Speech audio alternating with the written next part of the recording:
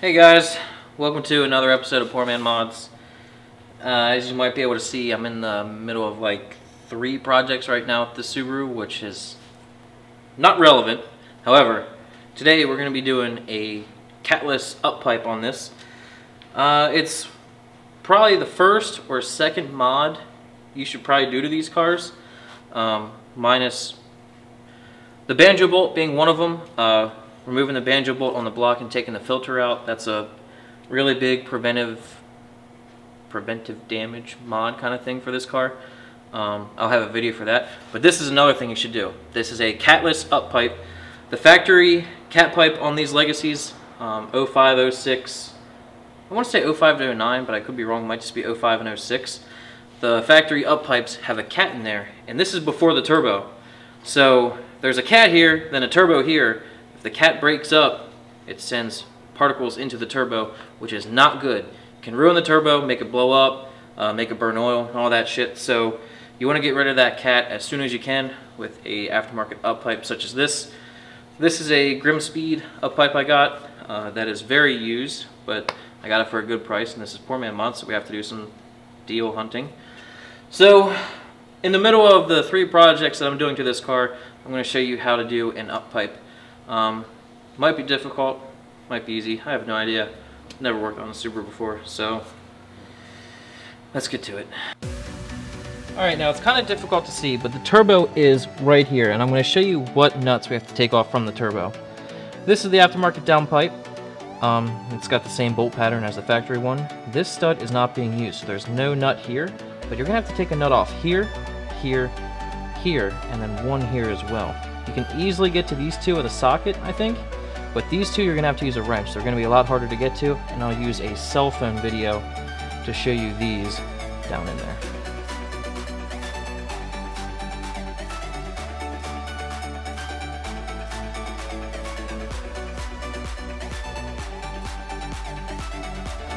So you, you, really can't see shit right now. It's really hard to get a view, but I'm to be going for this nut right now with a 14 millimeter socket. I'm just gonna try to break everything loose first to make sure I can even get to this stuff.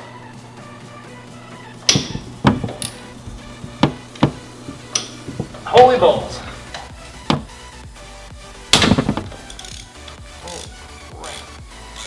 Alright, now I'm working on this nut. To get to it, I actually put the ratchet between this hard line. Um, I'm in the middle of doing the banjo bolt video. Uh, that might be out before or after this, I'm not sure. But I actually have the hard oil line unbolted from the turbo and from the exhaust housing. So to get your ratchet through there, you're gonna unbolt the banjo bolt on the turbo and unbolt it from this bracket too. You can get your ratchet down in there, right on the nut. Oh my goodness. And break it loose. Or break something, I don't know if you're breaking it loose, something broke. So we're trying to remove this nut and this nut. It's really hard to get to these. You actually have to remove the downpipe on the turbo to get to them. So we're now removing the five, I think it's five bolts on the downpipe. And uh, I'm going for the hardest one first. Some people say you have to remove the intercooler for this, but you actually don't. Um, it is under the intercooler, but I was able to get a ratchet down on it. And I'll get my cell phone in here and get a nice close-up shot of where all the bolts are. But I was able to get a 14 millimeter deep socket on here.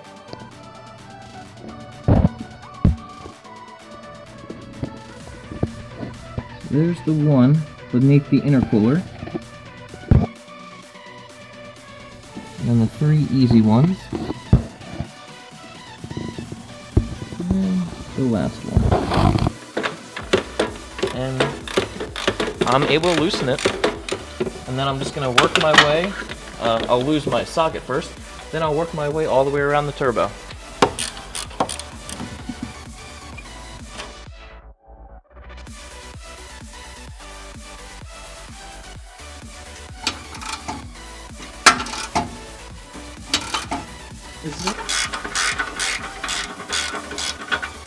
Oh. Now, for this video, you don't need to entirely remove this from the car. You just need to be able to move it away from the turbo.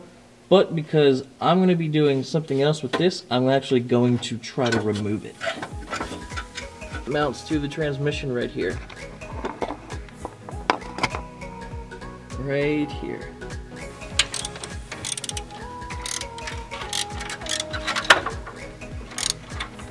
Or it'll just break. And make sure you disconnect the oxygen sensor clip too.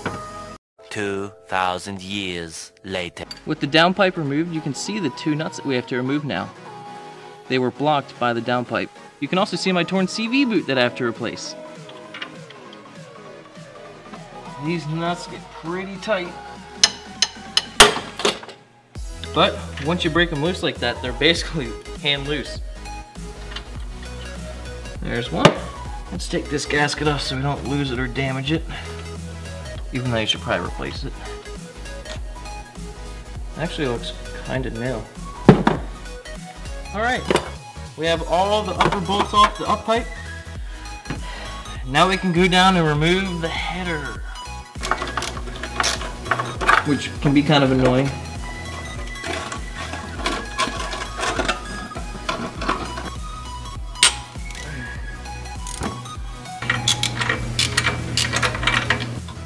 Got all the header nuts loose.